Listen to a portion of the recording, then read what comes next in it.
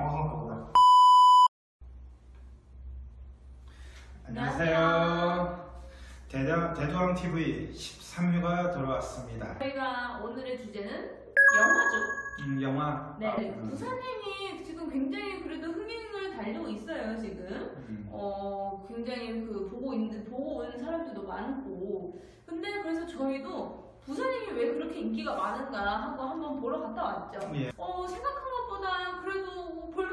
영화였어요. 음. 원래 좀비 자체가 좀비나 뭐 유령이나 어, 이런 것들이 좀 약간 서양의 전유물 이런 예, 느낌이었거든요. 예, 예. 근데 그것도 한국에서도 이렇게 적용할 수 있구나 그러한 점이 좀 들었어요. 그 부산행이잖아요. 예, 예. 근데 부산행이라는 거는 한국에서만 할 수 있는 거죠. 그렇죠. 네, 뭐 미국에 가가지고 뭐 영화 제목이 부산행 이럴 수가 없는 것처럼. 음, 그리고 또 좀비 영화 하면 보통 배경이 들판이잖아요. 예. 들판에서 쫓기고 쫓기거나 음, 아니면은 또뭐 폐가나 음. 이런 곳인데 그 사실 좀비라는 영화의 소재를 가지고 이 한정된 지하철이라는 배경을 쓰기는 좀 쉽지 않다는 말이죠. 음, 음, 근데 그 지하철에서 어떻게 좀비가 또 빠르고 힘도 세고 그런데 그 쫓아오는 장면들을 잘 재현을 하려고 시도를 했을까? 음. 근데 저는 그거는 되게 색다른 음, 그 사실 이야기가 안 나올 것 같았거든요. 음. 그 갇힌 배경 하나에서. 근데 그런 부분에서는 꽤 그래도 인상 깊었고, 음, 근데 저도 좀 아쉬운 부분이 당연히 예, 있었죠. 예, 근데 가장 아쉬운 부분은 아무래도 여러 관객분들이 느꼈을 것 같은데, 음. 그 아무래도 각본 부분에서는 부실한 점이 많이 느껴졌어요. 아, 스토리가 뭔가 취약하다. 네네, 어, 그렇죠. 스토리는 어떻게 보셨어요?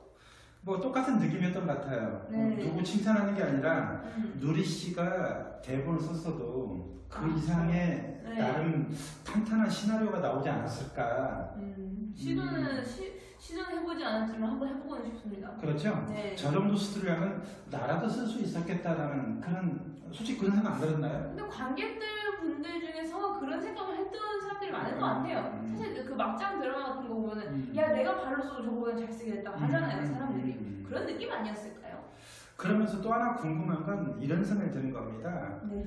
어, 아무리 독과점 체제고 그 다음에 영화관을 많이 확보했다 하더라도 저렇게 사람이 몰리는 데는 뭔가 이유가 있을. 것이다. 음. 그것이 이제 여름 어, 휴가철이라는 네. 그런 특수한 시기 속에서 사람들이 진지한 뭐 고민거리를 던져주는 주제 있는 영화보다도 네. 그냥 즐겁고 시원하고 해주고. 음. 어, 뭔가 화끈하고 이러한 부분들이 좀 딱 시기가 맞아 떨어지지 않았나 이런 생각이 들기도 하고요. 음 그것도 왠지 음. 계산을 했을 것 같아요. 그렇죠. 네. 어. 음. 그러면서 저는 이제 그 영화 속에서 가장 주목해본 인물이 기관사였습니다. 음. 끝까지 자기 책임과 소임을 다하려고 했었고요. 네. 어, 그리고 어, 기차를 버리지 않고 음. 몇 사람이 탔건 간에 끊임없이 행선지를 알려주고 시민들의 안전을 지켜주려는 그런 기관사의 모습을 보면서 얼마 전에 그 세월호 사건 음. 어, 이런 부분들 그리고 어, 영동고속. 예, 영동 고속도로의 그 운전사의 그 졸음운전으로 네. 버스가 또 많은 사상자를 내게 했던 사건들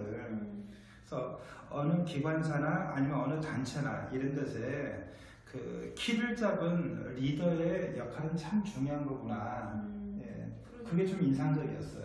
얘기하다 보니까 그런 생각도 드네요. 그 재난이라는 부분들이 멀리 있는 게 아니라 네. 우리 주변에서 언제든지 일어날 수 있고 네. 이것이 뭐 천재 지변도 있겠지만은 환경 오염이나 여러 가지 우리 사회에 사람에 의해서 만들어진 그런 인위적인 요소들이 어느 한순간 재난이나 재앙으로 우리 앞에 불현듯 닥칠 수가 있다. 네. 그래서 그러한 부분에서 이 함께 살아가는 사회에 대한 한 개인의 공동체 구성원으로서의 끊임없는 노력과 윤리의식도 필요한 거지 않겠는가. 음. 너무 깊게 해석했나요?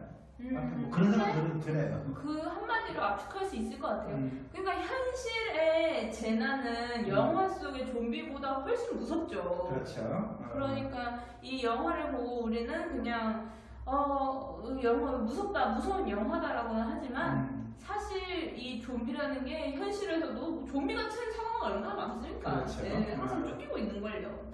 저는 딱 아쉬운 걸딱두 글자로 말하자면은 신파. 신파, 네. 아, 또 가족주의. 흔히 이걸 CJ 감성이라고도 하거든요. 아 그래요? 어 그런 용어가 있습니까? 그러니까 그 CJ라는 계열사에서 예. 만든 영화들이 그 꼭이 심파으로 좀 흘러가는 경우가 많나 봐요. 음. 그래가지고 근데 이번 부산행에서도 좀 아쉬웠던 부분은 그 장면에 막 어릴 적 회상하고 그 네. 애기 안, 안 웃을 때에 네. 어, 그러니까 그 사실 공유가 좀비가 되는 거는 주인공이어서 음, 그런지 음. 늦게 바뀌더라고요 좀비로.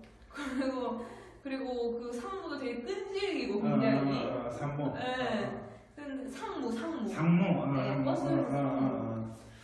좀 그리고 또 하나가 그 꼬마가 그 학교 학예회 때 불렀던 네. 하와이 민요죠 알로하우에 네. 검은 구름 하늘 가리고 이 별에 날아왔도다 뭐 이런 노래인데 네.